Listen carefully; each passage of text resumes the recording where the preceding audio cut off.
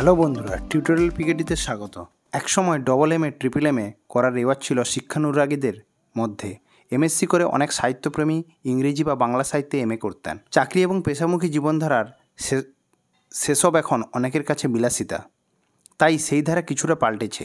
UGC স্বীকৃত দুটি course একসঙ্গে করার অনুমোদন দিত না এত, এতদিন। ফলে একটি ডিগ্রির পরেই আরেকটি করার সুযোগ মিলত। তা সময় পাক সাপেক্ষ হওয়ায় জনপ্রিয়তা হারাচ্ছিল। তবে এবার ইউজিসি একেবারে নমনীয় নীতি নিয়ে দুটি কোর্স একসঙ্গে করার অনুমতি দিচ্ছে। কিছুটা শর্ত মেনে সহজেই করা যাবে সেগুলি।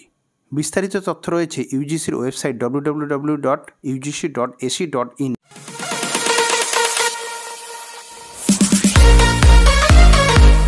এখানে গাইডলাইন প্রকাশিত হয়েছে। একই সঙ্গে দুটি কোর্স করা নিয়ে তিরিশে সেপ্টেম্বর দু হাজার বাইশ গাইডলাইন প্রকাশ করেছে ইউজিসি। ওদের নিজস্ব ওয়েবসাইটে W dot UGC dot AC dot ইনে গাইডলাইনটি রয়েছে। তাতে বলা হয়েছে, কলা বিভাগ বা হিউম্যানিটিজের বিভিন্ন বিষয় পড়ার সঙ্গে সঙ্গে পেশামুখী টেকনিক্যাল এবং বৃত্তিমূলক কোর্স করতে পারবেন ছাত্রছাত্রীরা। এমনকি রেগুলার কোর্স হিসেবেও দুটি করা যাবে। তবে মাথায় রাখতে হবে, একটি কোর্সের ক্লাসের সঙ্গে অন্যটি ক্লাসের সময় যেন এক না হয়ে যায়। মানে সমান্তরালভাবে দুটি কোর্সের ক্লাস করলেই অনুমোদিত হবে সেই ডিগ্রি। আর একটি রেগুলার কোর্সের সঙ্গে distance and open learning, ODL পদ্ধতিতে অন্য কোর্স করা যাবে। তবে দুটি প্রতিষ্ঠানকেই হতে হবে ইউজিসি স্বীকৃত। এর জন্য ইউজিসি একগুচ্ছ পরামর্শ দিয়েছে। একজন ছাত্রের মধ্যে কোন কোন বিষয়ের প্রতি ঝোঁক বা দক্ষতা রয়েছে তা শিক্ষক এবং অধ্যাপকরা চিহ্নিত করবেন। এর জন্য শিক্ষকদের সচেতন করে তোলার উদ্যোগ নেবে ইউজিসি এই প্রকল্পের মূল ভিত্তি হলো কলা এবং বিজ্ঞান শাখার মধ্যে সীমারেখা প্রায় তুলে দেওয়া। শুধু কলা এবং বিজ্ঞান বিভাগই নয়, এর সঙ্গে বিভিন্ন এক্সট্রা কারিকুলাম অ্যাক্টিভিটিস যেমন হচ্ছে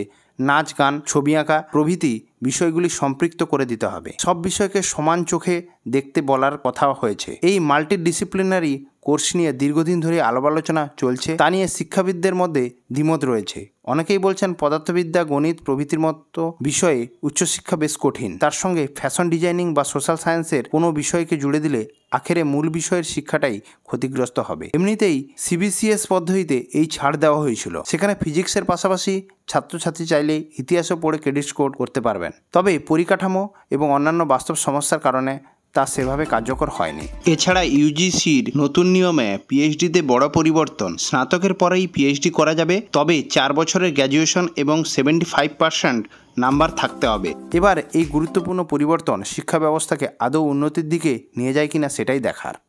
এরকম শিক্ষণীয় তথ্য বেশি বেশি করে পাওয়ার জন্য আমার চ্যানেলটিকে সাবস্ক্রাইব করবেন। Thanks for watching